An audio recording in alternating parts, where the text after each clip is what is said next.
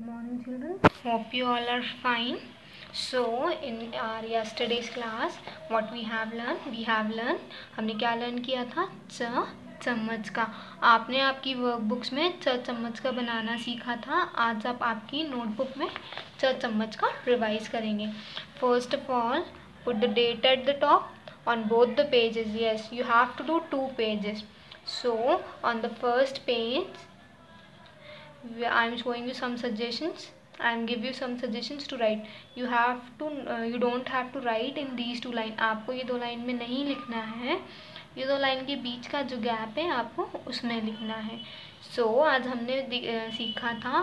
सबसे पहले हम चम्मच में स्लीपिंग लाइन बनाते हैं। देन सेकेंड उसका कर्व बनाते हैं और थर्ड स्टैंडिंग लाइन बनाते हैं। सो so, आप दोनों पेज पे ऐसे चार कॉलम बनाएँगे और चम्मच का लिखेंगे।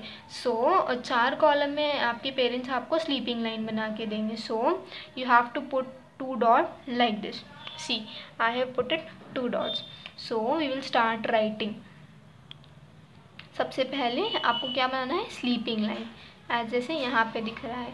So you will draw sleeping line then आपको नीचे वाला कर्व बनाना है।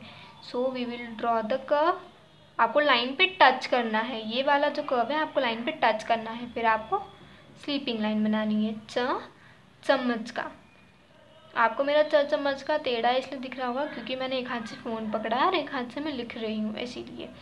बट आपको सीधा लिखना है। सो so, पहले हम स्लीपिंग लाइन बनाएँगे फिर नीचे का कर्व बनाएँगे और फिर स्टैंडिंग लाइन च चम्मच का। फिर से एक बार स्लीपिंग लाइन कर्व घुमाएँगे लाइन पे टच करना है। और स्टैंडिंग लाइन च चम्मच का।